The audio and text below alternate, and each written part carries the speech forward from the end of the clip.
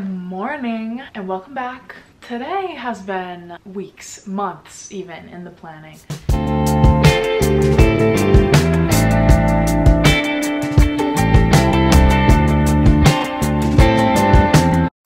My fall shopping trip, it's normally a disaster and it's never cohesive. So that's the goal this year. I have a purpose, I have a plan. I have been on Pinterest since July planning this fall. And that might sound extreme to you, but I'm a very impulsive girl. So here's the deal this bag in front of me, everything that I'm donating, they're gonna give me a lot of store credit hopefully. I'm really trying to keep my closet cyclical. So yeah, that's kind of where we're at with these. I loved them, they're great. I would rather exchange them for something else now. Okay, first thing, they're like a mid-rise, very washed kind of cargo pants. I think hopefully too that they will take these, hopefully. That's the other thing is like I'm expecting to get money back from these so that always sucks when you go in with like a full bucket and you're like yes they're gonna take all of it. They're like we can give you $16. You're like what? Next piece, this white off the shoulder sweater has like button details. Next, this pink Italy jacket. Love her. She has done me well. I'm ready to give her on to the next person who will love her. This pink balaclava. It's cute, the little horns. I didn't really think about wearing makeup with this. I love balaclavas in theory, not really in practice she's gone. This bucket hat, it's like a Sherpa, tan and navy, like two-way kind of baseball tee. These capris, tan with like a blue plaid. Loved owning these pants. They're this red kind of shiny material. They're super low-waisted. I mean like you're like really, they're low. I hope the next person loves them too. These camo capris, they're kind of baggy, some embroidery detail on the back. This long sleeve floral lace top. Soccer jersey, I knew when buying this what I was doing. It's cute, it's just I bought it on the whim of a trend.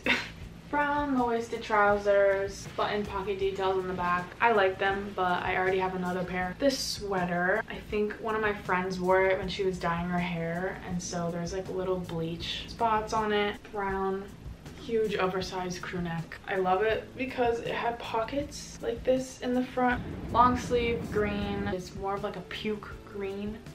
This is like grass, puke. I think I was a little uh, caught up in the moment when I bought her. Purple Adidas beanie. I have nothing that's like this lilac purple color. I've kept it every year because it's really good quality, but I'm like, okay, at what point I just need to let go. I need a new beanie. That's everything. I'm gonna get a bigger bag put all this stuff in. Oh my.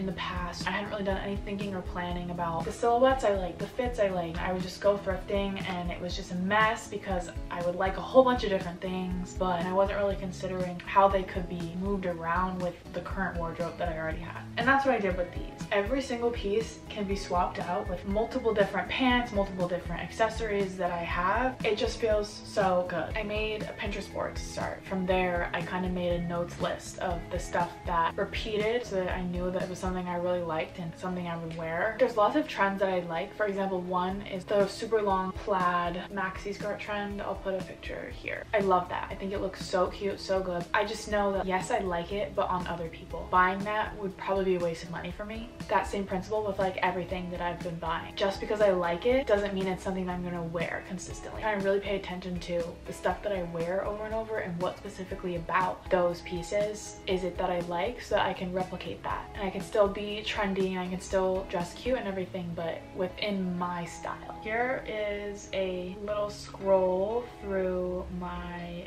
Pinterest board so you can kind of see what the vibe is. I focused a lot on the colors of things that I wanted. My colors were burgundy, hunter green, navy, black, and cream. So instead of getting like five colors of one item, I tried to get a different color in every item that I got. That way all the colors were satisfied without repeating the same piece. So I went into my notes, I made a list and then I inserted the little screenshots from Pinterest of the things that I wanted because when I go shopping, you get in the store and it's like a million things everywhere and you're so overwhelmed and this is cute, but like would it really look good on you? And this is cute, but I don't really know if it would fit right. It's too much. So I would get in the store, I would go into a corner, literally like calm down, pull out my phone, look at my notes app, and focus on what I wanted. And I would go one thing at a time. I was like, okay, I'm looking for a fuzzy v-neck sweater. I wouldn't be looking for five things at once. I would focus on one item at a time and look at the pictures that I picked out. That way I could stay focused on something that I actually like and not something that I'm convincing myself fits.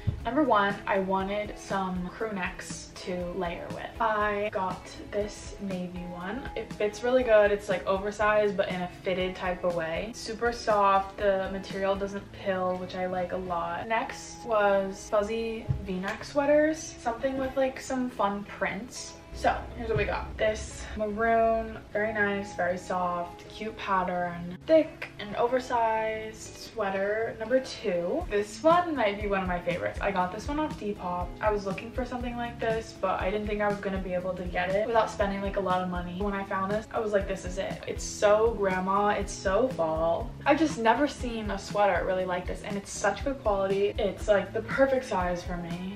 Next, sweater. I really wanted v-neck sweaters because the fit of the neckline just makes it feel a lot more feminine. You can kind of layer underneath the v-neck. So obviously those other two that I showed you weren't. So this one is, it's just black, a little bit oversized. It's not really ribbed, but it has some like stripy kind of knit details down the side. Very nice. I feel like I get caught up a lot of times in like prints and patterns and crazy colors that I forget to buy basic colors and every year I realize that I don't have something black. So I got a black hoodie and I also got a black sweater. I'm set with the black. Next, I really liked this kind of vibe with like the cardigan layered over a t-shirt underneath, baggy jeans. I already had those. So I was really just missing like a good cardigan.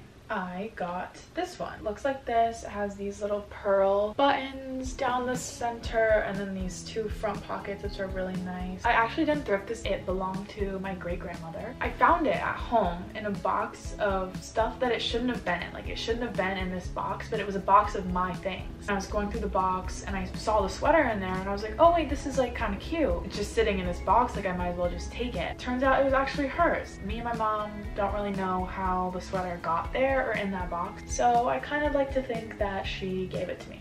And I also think it's cute because the buttons, like I said, are like little pearls. Pearl is my birthstone, so this is a special.